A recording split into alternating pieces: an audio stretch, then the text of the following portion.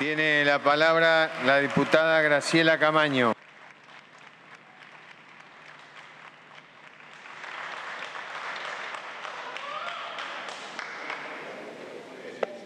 Gracias, presidente.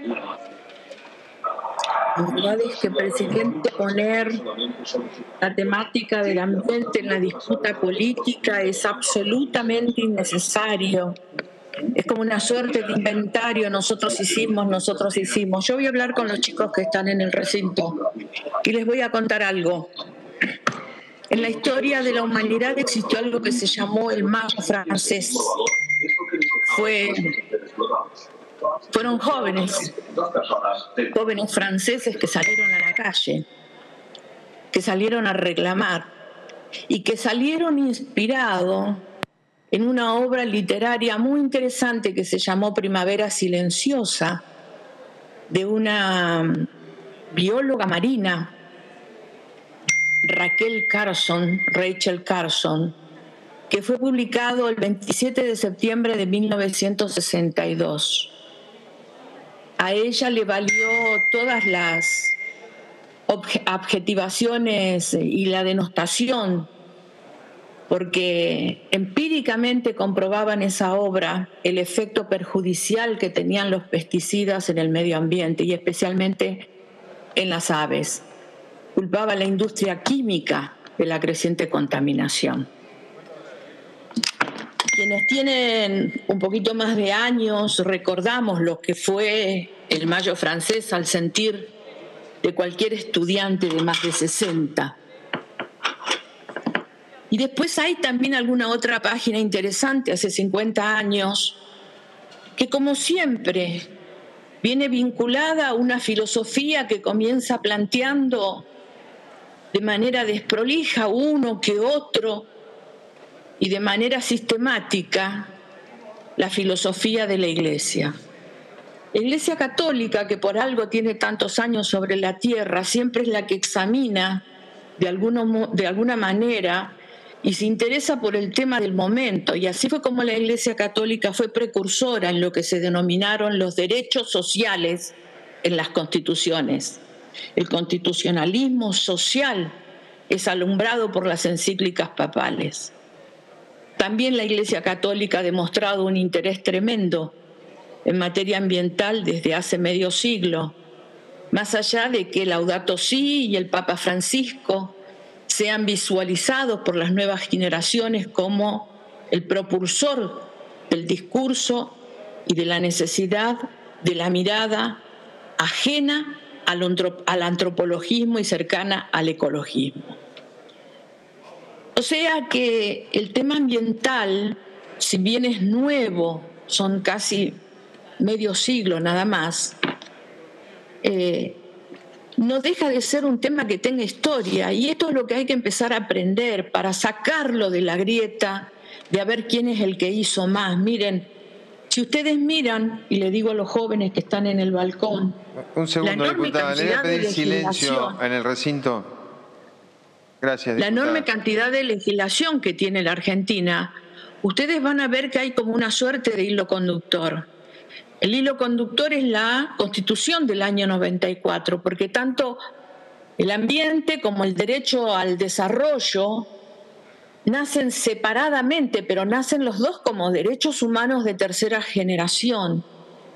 Nacen en reuniones de Naciones Unidas allá por el año 72 el derecho a un ambiente sano y ecológicamente equilibrado fue planteado por primera vez en Estocolmo en 1972. El derecho ambiental tiene mucho de anclaje en el, derecho internacional y evoluciona, evoluciona hasta que se adopta la Carta Mundial de la Naturaleza en Nueva York en 1982.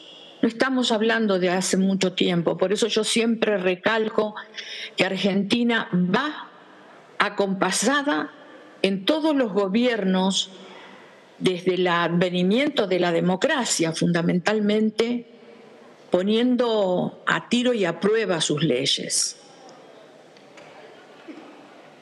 Posteriormente, internacionalmente va consagrándose en, en diferentes reuniones de, de Naciones Unidas, de los Estados americanos, etcétera, y tenemos una enorme cantidad de legislación internacional.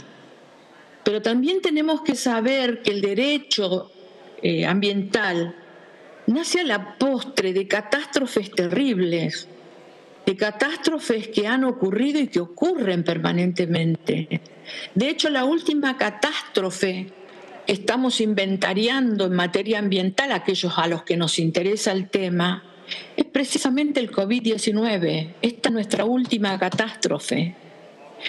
Minamata fue la primera, el hundimiento, de la Moco Cádiz, del otro, Chernobyl, Love Canal en Nueva York en 1978, Bhopal en la India en 1984, Exxon, el derrame petrolero de 1989, el hundimiento del Prestige, un buque que se hunde en el 2002, la isla de la basura en el Pacífico que ya triplicó el tamaño de Francia y a la que se refirió Leonardo en su discurso de cierre, cinco provincias argentinas, el retroceso de los glaciares que es sistemático, es impresionante. Miren, están hablando de la primera secretaria mujer del continente y que fue argentina y que fue en un gobierno peronista. Yo la vez pasada les comentaba en la comisión Perón escribe una carta en el año 1972. A mí me llama siempre la atención porque es la carta de un exiliado, es la carta de un presidente repudiado y exiliado.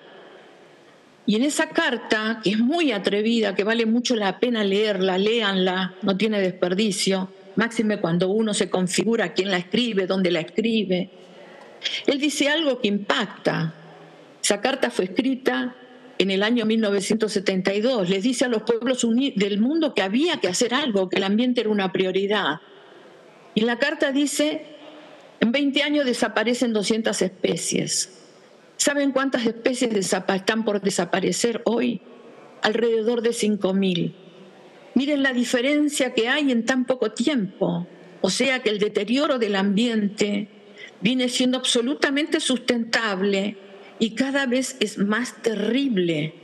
Diputada, Entre los desastres no quiero, dejar, no quiero dejar de mencionar el desastre minero de Brasil del 19, el Saragazo en la costa caribiana de México, para ponerlo finalmente, como les dije anteriormente, al COVID.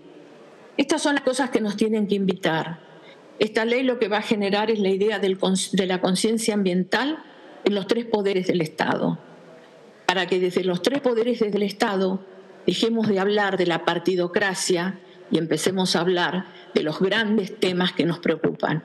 El ambiente debe ser un tema que nos preocupe y que nos ocupe. Gracias, presidente. Gracias, diputada.